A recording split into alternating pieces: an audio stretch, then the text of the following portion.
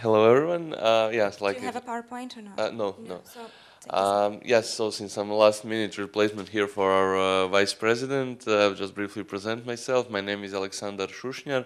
Uh, I'm a member of the executive committee of the European Students' Union. Originally, I come from uh, Croatia, where I've also been a student representative at all levels, and uh, and currently uh, in ESU, I'm uh, working in a cluster for quality of uh, higher education. So this is why I'm here. Uh, yes, I don't have a PowerPoint. I actually thought that this was going to be more like a panel kind of discussion, so that's why.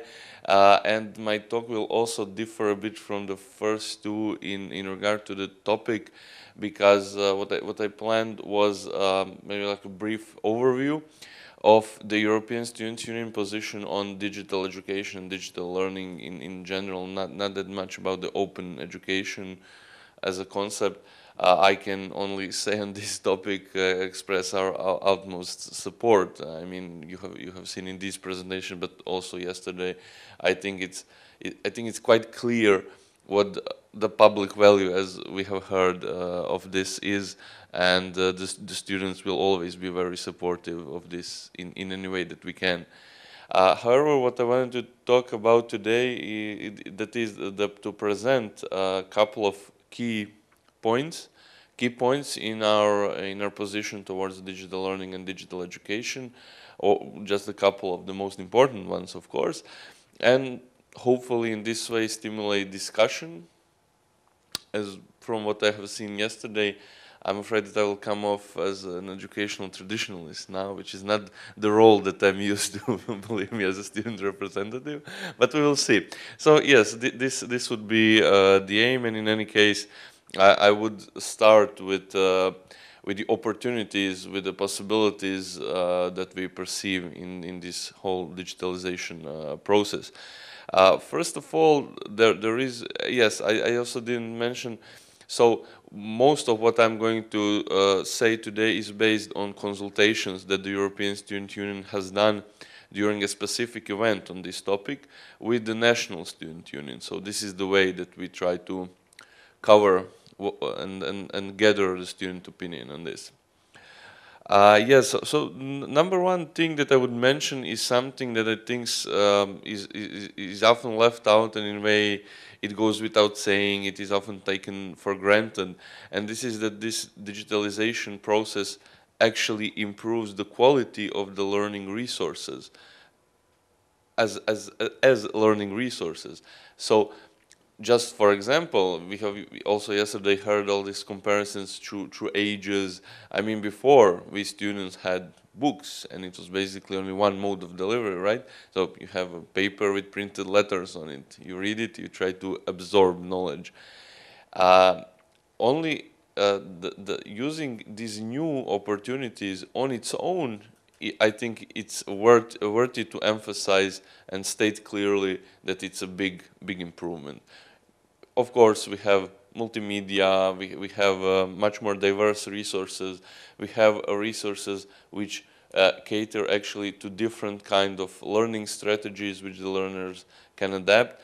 And that brings me to the second to the second big uh, big point of, uh, of, of opportunity that we see, and this is individualization of the learning process um, of which we have, of course, uh, always supported and which is a big topic and a big goal, so to say, in uh, pedagogy, at least in recent decades.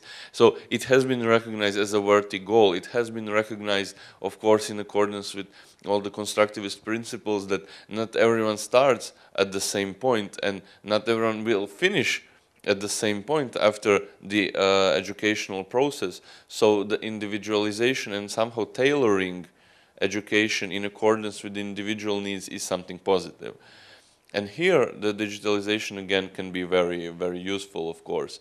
It can uh, enable the learner to learn at his own pace, uh, to use, as I have mentioned previously, because of all these varying learning resources, those learning strategies that are more, uh, that are better for him or her, etc., etc., etc.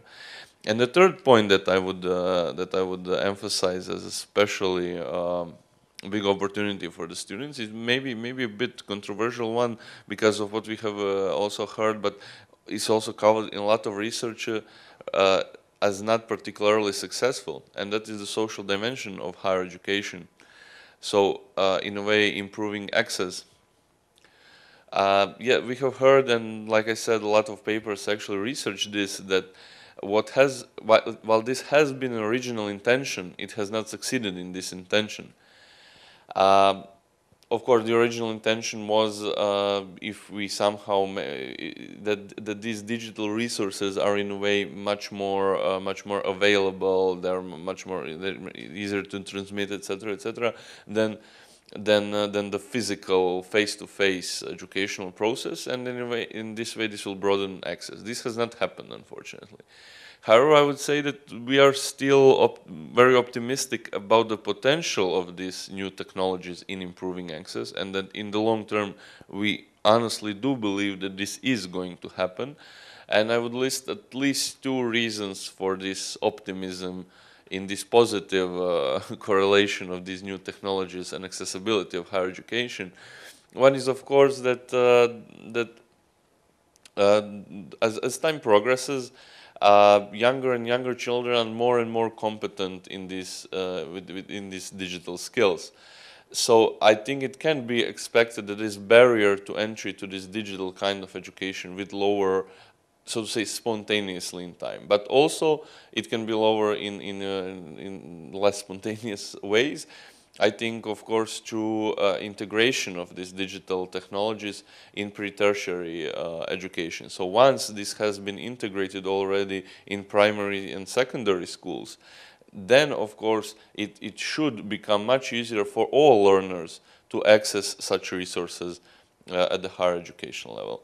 Now, that being said, uh, and these three big biggest points of, of support uh, being uh, listed, uh, the the uh, position of the, the European Students' Union is, and this is not to be misinterpreted in this what, what I have been said, uh, the part about social dimension, is not that this digital education should replace traditional education in, in, in any foreseeable future at least, but that it should supplement it.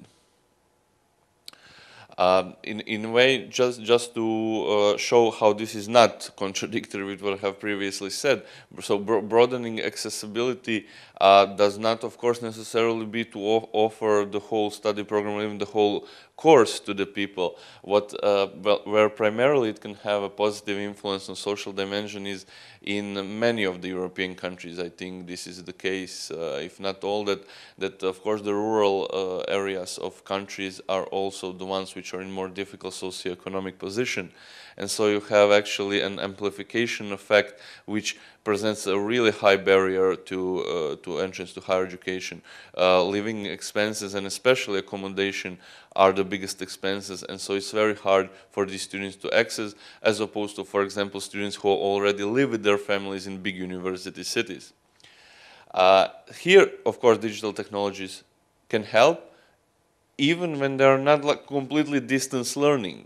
But it, th there is a middle ground here is what I'm trying to say, is that even if you lower the demand of physical uh, presence, already this has helped, already this has increased uh, access. And in general, this is what, uh, what our position is that that the integration of traditional methods, or at least those traditional methods that serve us well, and the new technologies is, uh, is the best way to go forward. Um, Furthermore, the, when, when, when we compare, and this is of course often compared, the, the traditional or so-called traditional, the current, I would say, uh, methods of, of teaching and learning, um, and these new technologies, e-learning, etc. What we must not do, I think, is compare what we have now in traditional learning and what we would implement in e-learning. But I think we need to take a look at the potential of it.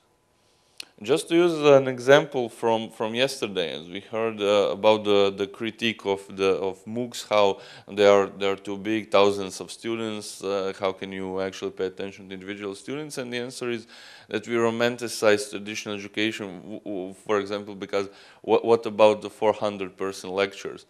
And but the answer for me is very obvious. N neither of it is good the difference of e-learning cannot be that the traditional learning is doing some things wrong. And we have been saying for ages that you cannot have classes with 400 people.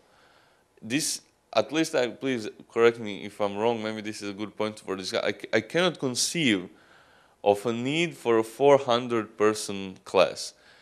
Because the way I see it, this can only be one directional, this can only be a professor talking, students listening. And if this is the case, then really, as we have also heard in some of the presentations, then the students can just watch a video. There's really no need for them to be there. So in this regard, yes, 400 students lectures are completely replaceable, I think.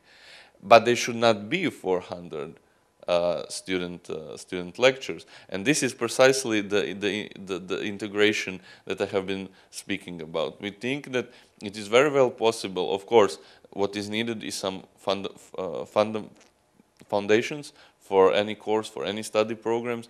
And then the students can, of course, watch video, use multimedia, or use any kind of digital technologies that will be possible in the future and dedicate this precious, so to say, face-to-face -face contact to the to more creative uh, creative environment between the teacher and the student, which then, of course, cannot be 400 uh, student lectures.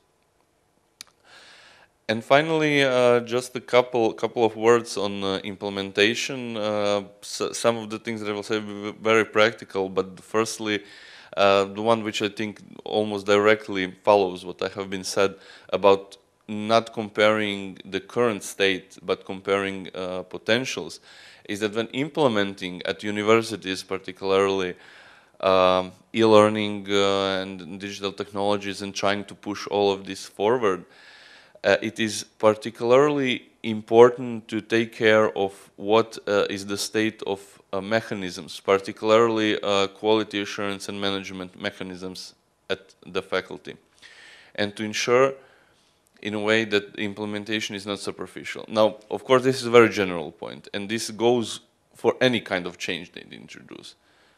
But uh, I think it's still good to, to emphasize this because it can be I think, quite dangerous to, to introduce uh, these new technologies, these new ways of, of education, if we do not have those presuppositions uh, already implemented. And I'll just give you a practical example because this all might sound a bit too theoretical. I had an encounter with uh, one faculty actually that uh, tried to produce and actually produce the whole study program online so I asked them, I was a bit skeptical, I admit. So I asked them, uh, but are you sure? Uh, are, are, you sure that those students which take this online study program, which paralleled completely the, the, the, traditional one that they had? So it was the same program, which was only moved online. So them, but do you know that the, do the students have at least comparable comparable learning outcomes? Do they achieve the, the same things? And they say, yes, yes, yes, don't worry, don't worry. We, test, they, we give them the same tests, and uh, it's all good. They're, they do not have lower achievement. I'm like, okay, but, and then I ask their students about uh, these tests. what, what, what I found out then, that the tests are basically just information checking, something that never has actually demanded face-to-face -face communication at all, if you understand me. The students might have as well read the books and then went to the tests.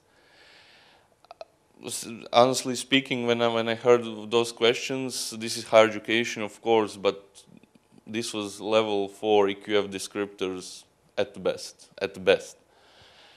So what, what, was, what we see here is a problem on its own, but a problem that is aggravated in a way by implementing new technologies. And, and I think it's very important to be mindful of this when implementing them. To be mindful of the things that should be in place before, before we have this. This is, of course, don't get me wrong, not an argument to, for not implementing these new technologies in new ways.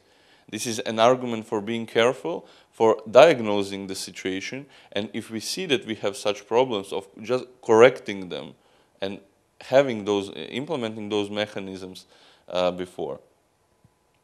Other concerns of implementation are much more practical, uh, much more practical indeed, and some of them uh, mentioned.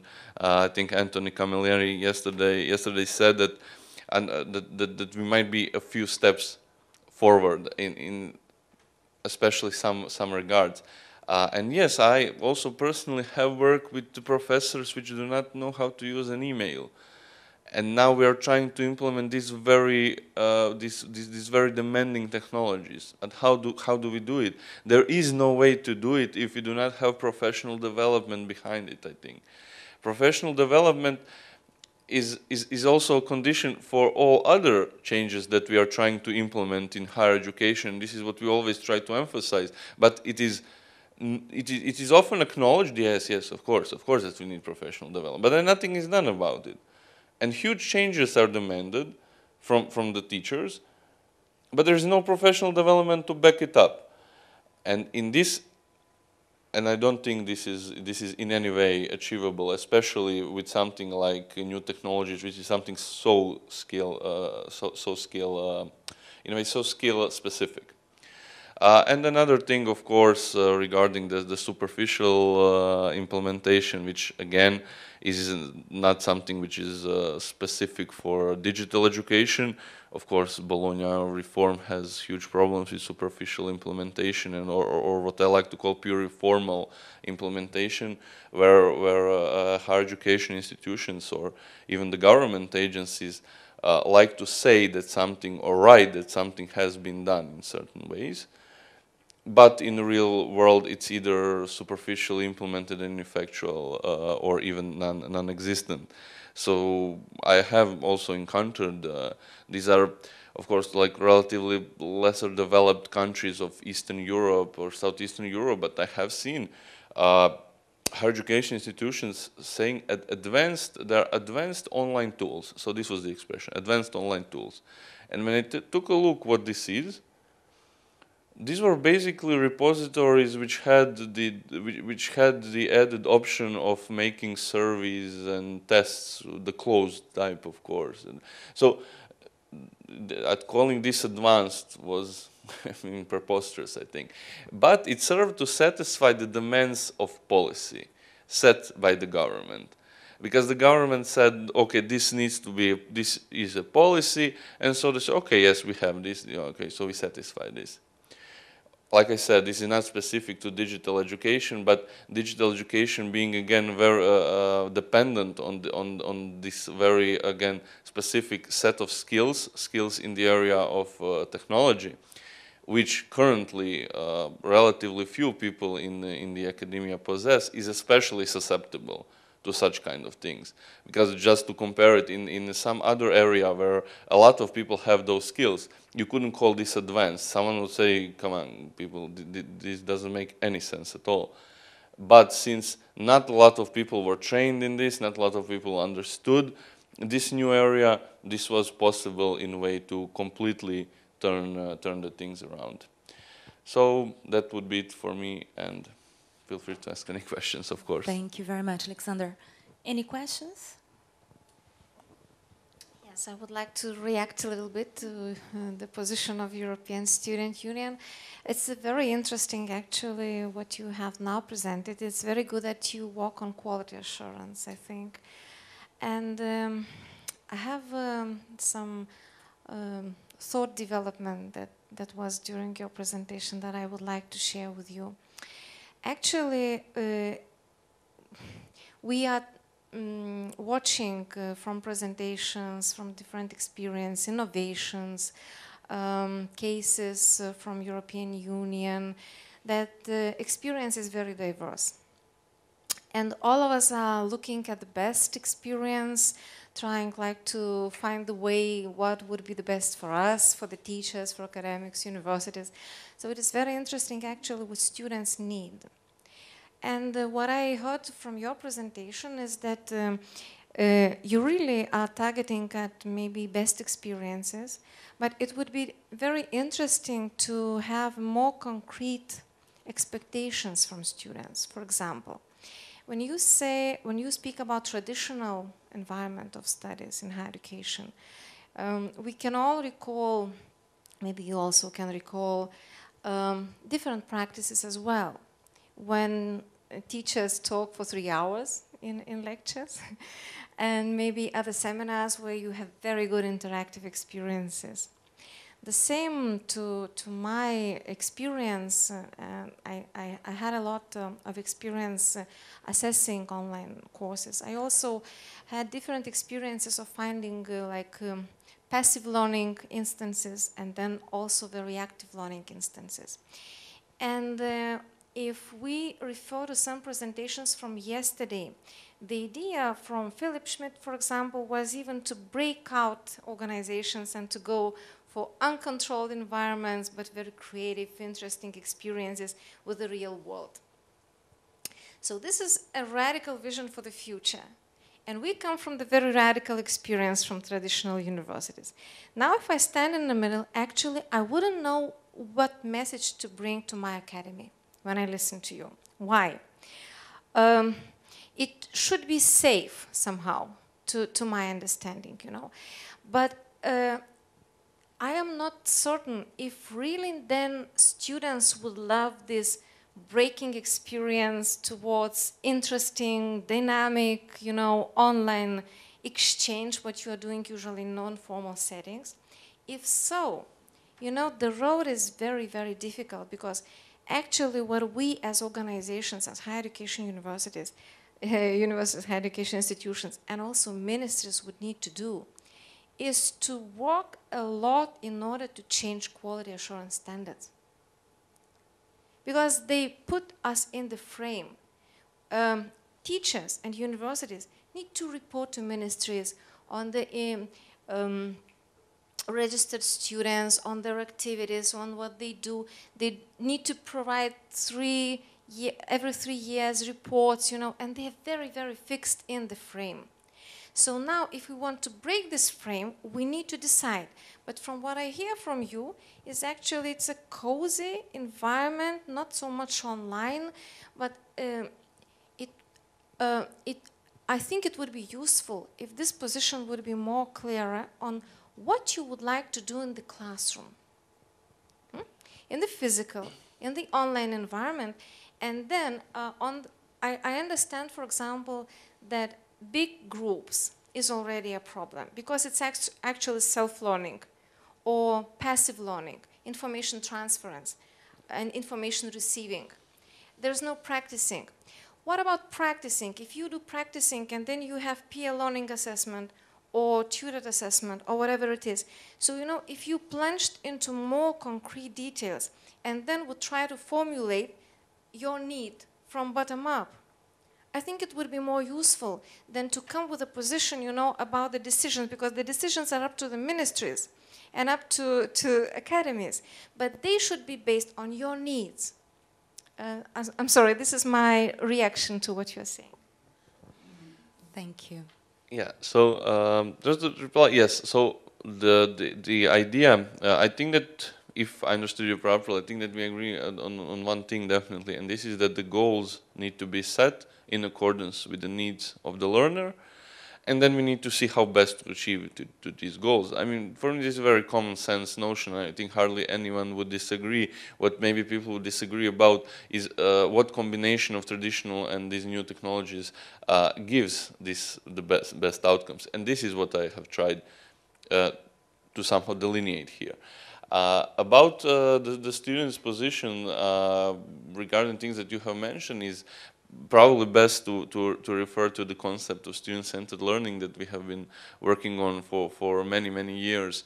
Uh, successfully, of course, implemented it in various documents, finally in the ESGs, etc., etc. Et so I think that the questions that you have posed now are best explained in this concept. I, I have not touched here on the concept of student-centered learning because then I would need to go at least seven or eight facets of it. So both the teaching methods, the quality assurance, the professional development, the social. So these are only four, are seven of eight of them. But I believe this concept uh, and the, the, way that we have suggested it applied holds enough, uh, so to say, explanatory power to, to, to suggest what the students really want in the classroom. Um, I, I would say if I would have to signal out a few things, students of course do love uh, more interactive, uh, more engaging things, whether they are online or face to face. This is, I think, something that a lot of practitioners uh, are completely aware of. It is not easy, of course, to, to develop methods in accordance with it, but these student needs can be relatively easily recognized. Can I? Development and the use of open educational resources. You know, an example, very small. If teach, if students would like more diverse opinion, not of a single teacher, you know, but on validated selection of diverse opinion online, for example. And if we had uh, the courage to implement it, when NQA or quality assurance agencies come to universities, they would not maybe check so detail the research articles which are on Scopus or high-level citation level, but practices on this. So this is a decision actually, and it should come also from the student. So if students support it, then academics would implement it, then universities would accept this decision, and ministries. But we need your support if you want it. Thanks. I also would like to make a comment. Uh, I think we are we all have a lot to say, but very quickly because otherwise you will miss coffee. No, thank you so much. First of all, thank you so much for your presentation. I think you, you brought some issues that we all have to, to talk and discuss and, and this interface between universities and, and the students. Um, one thing that is, is just something to keep in mind about your work on finding out the digitalization processes, whether students like it or not, and possibilities for widening access. You talked a lot about access, but sometimes also about accessibility. But our understanding of accessibility is more with regards to challenged, physically challenged learners right? Whether they will have, they are at university level, they have some sort of physical restrictions, therefore accessibility to the ones who cannot hear well, you know, cannot see well, those sorts of things could perhaps be taken into account when, when you are thinking of the power of digital resources to uh, increase, increase access. So this is something that we can talk later. The other thing is, uh, um, following um, Irina's comment, has to do with, uh, I'm, I'm very curious because um, with, for example, the video example that you gave, uh, whilst I can see your point absolutely clearly, I was also thinking from the part of the teacher, of the lecturer, of Perhaps the type of methodology or pedagogy used uh, could have been that it was a flipped classroom exercise where you just give the video and you say it's entirely up to you, student, now to go through this because I'm working on with you on something else. And you know, this may not be crucial to this course, or may, even if it is crucial to this course, that's the methodology, the pedagogy behind teaching. So I'm wondering if you're taking into consideration your analysis and discussion with your peer students, the type of pedagogy and methodology chosen by the, the teacher you know, for doing what they are doing. Uh, and also whether, you know, a multiple choice assessment wasn't enough to assess what the teacher wanted to assess. Was it really required to go through extreme uh, assessments and dialogues, etc.? Maybe a multiple choice test was enough. So the, the thing is, when uh, gathering information from, from students across Europe, it would be very important to think of those aspects behind the face value of technology use, I think. And, I, you know, I don't know if you want to say something about it in one minute or not, or whatever, but please. No, but but basically no. I just uh, agree with you definitely, uh, especially on the on the first point. Yes, I use the uh, I use the example of access uh, so socioeconomically based, but of course there are learning learning disabilities as well, with which new technologies can uh, so not only physical, but also learning disabilities, with which, which, it can help very much. So definitely. And regarding the second point as well, of course, yeah, it's a valid point that it that the pedagogy use needs to be taken into account. I would say also new pedagogies need to be formed, new researched.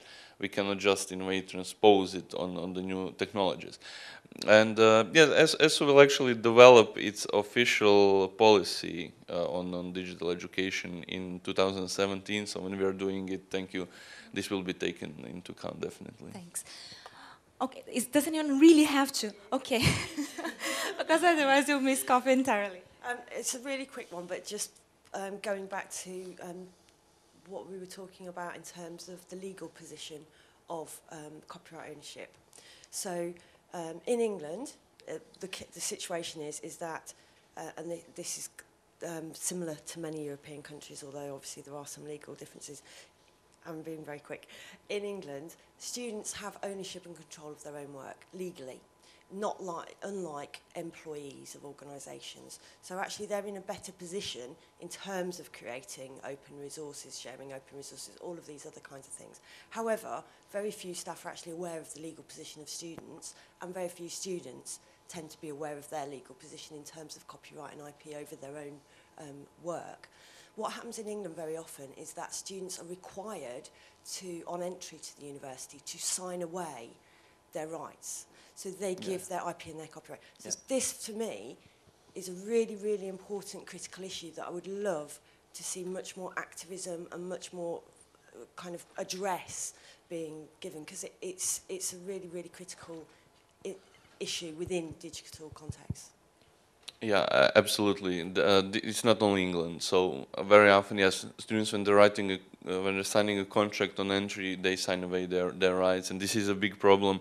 I would say that the only only reason this hasn't caused a, a much bigger outrage between students is that unfortunately, in many countries, the production itself is very low, and therefore the number of students that have encountered this problem is very low, which of course that does not mean that this should not be worked on. We are working on it, and but I, I think that also this uh, mentality is changing in a way that more and more people are realizing research, for example, is not for a PhD, not even only for MA. We need to start from the beginning, and so hopefully more and more students will produce, and hopefully then people who make decisions will, will realize that this is actually not the best way to go about it.